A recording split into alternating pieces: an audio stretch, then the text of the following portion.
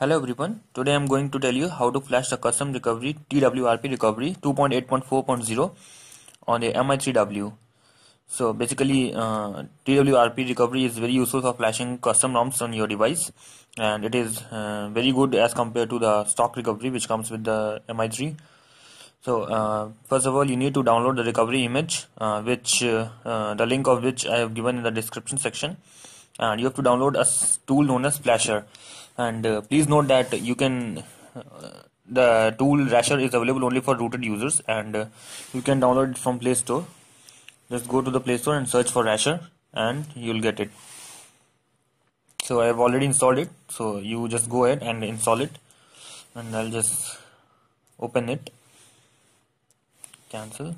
And uh, after downloading that recovery image please uh, put it in your uh, SD card I mean the internal storage memory and uh, just open Rashr option solution just uh, open Rashr from here and go to this option recovery from storage and you will get the browser file browser and from that you can point to recovery.img uh, which is the basically the name of the recovery image which you have downloaded and it will show you a warning warning message, message uh, choosing recovery.img are you sure?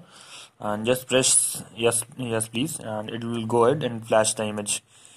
And after flashing it will show you. And uh, so if you want to check it you can just reboot to recovery.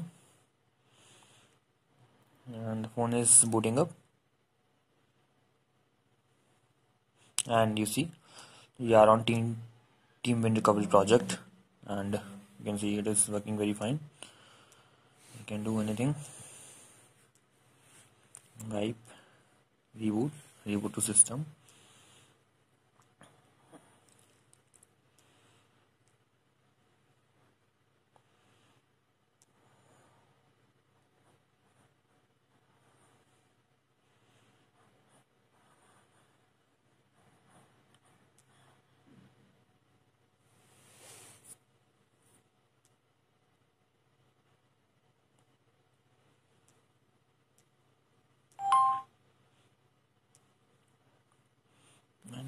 here it comes. Our system is back.